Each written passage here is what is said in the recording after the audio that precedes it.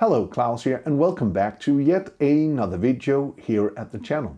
Not long ago I made a video all about making a product shot going from very simple to looking way more nice and fantastic. So I did that using combination of Fusion and the color page um, but in this video I'll show you how to do more or less the same video but doing everything inside of Fusion so you don't have to swap in between the Fusion edit page and the color page. So this tutorial is done all in Fusion so let's jump right in and let's get going. Okay, so here we are in DaVinci Resolve and let's get started by doing this product shot. So I have a green screen clip right here and you know I'm going to right click on that and I'm going to make this into a new Fusion clip. And with that out of the way, let's jump right into Fusion. So here we have our media in and our media out, but I don't want it like this. So I'm going to take off the green screen, which is here.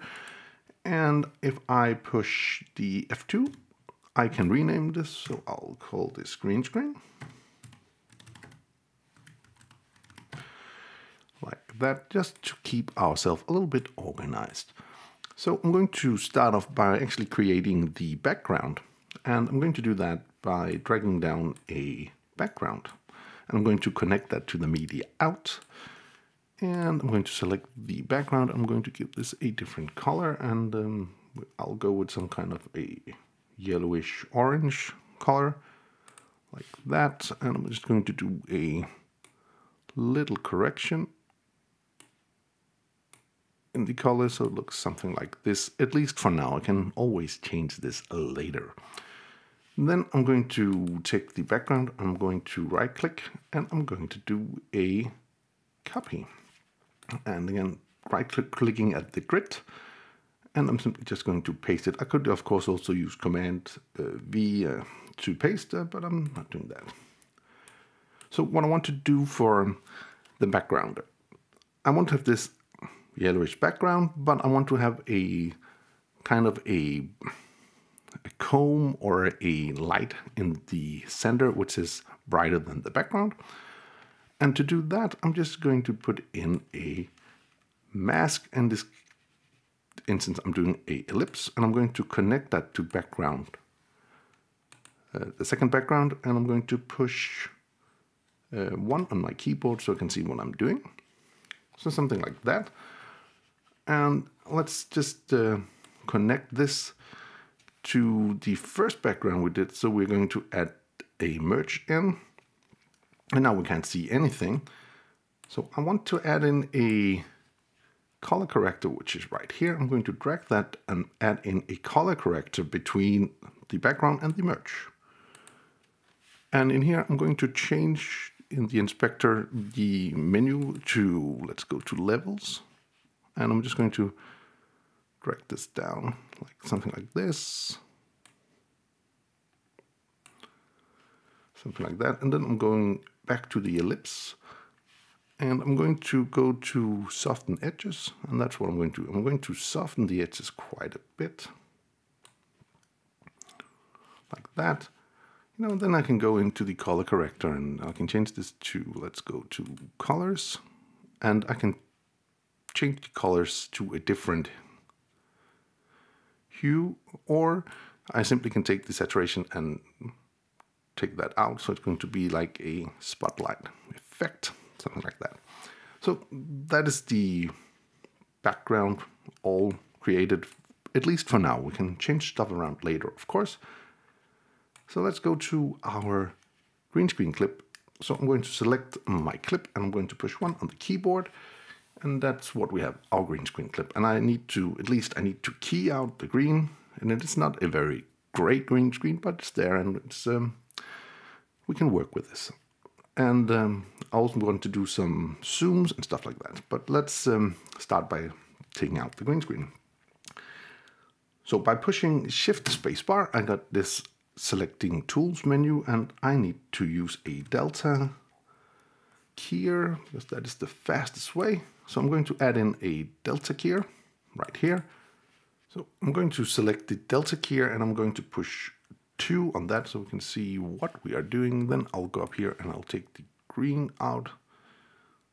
Something like that. And of course, this is the final result and I don't necessarily want to watch it that way. So I can go up here in the view mode and go to matte and then I can go to pre-matte here if I want to change stuff around, but I think it'll be okay just to go to the matte. And the idea here is to go into the threshold and to make the background black as well as possible. And our foreground object here has to be white. So we're going to do something like that. I'm going to maybe more, something like this. So let's go to final result yeah, for now that's okay. I'm going to take the output here and I'm going to add this down to the merge. So if we go to our media out and I push 2, we should have our final result. Um, but we are not done yet. Of course, I actually want to do a little color adjustment. So I'm going to add in a color node right here. And I think I just want to take out some saturation Hmm. And in fact, maybe I want to use some contrast. Something like that, and some with the gain. I mean, we can dial this in, in fact, a little bit later as well, but let's say something, something like that, okay?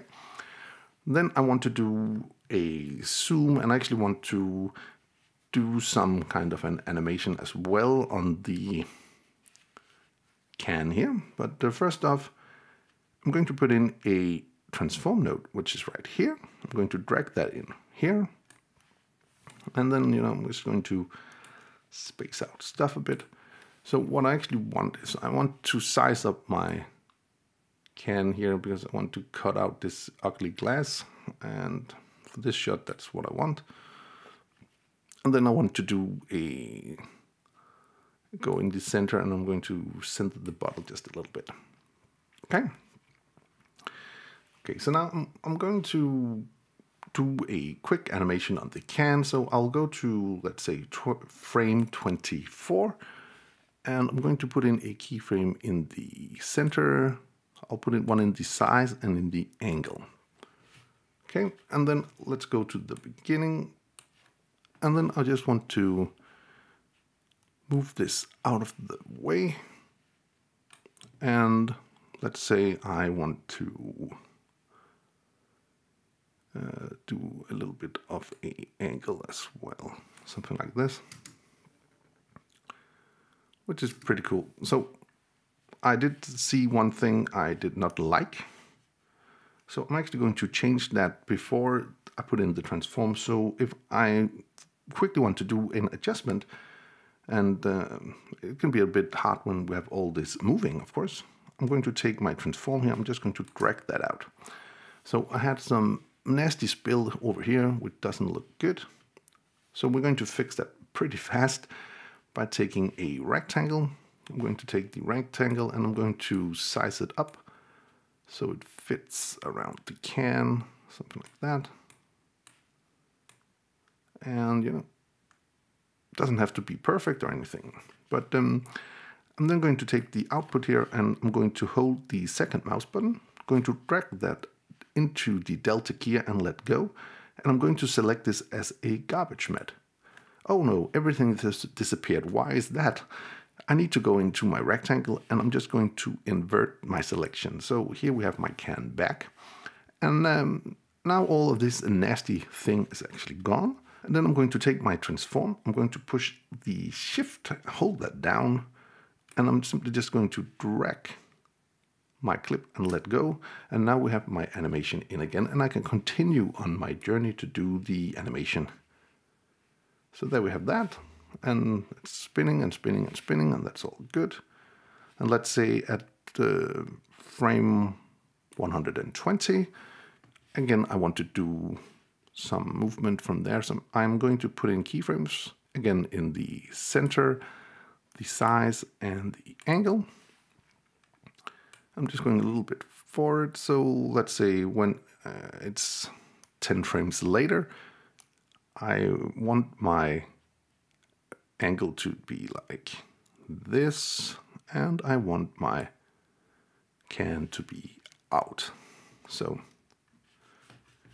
here we have uh, that bit here coming in, spinning around, and then, you know, going away, uh, going away. That's, that's the animation we're doing.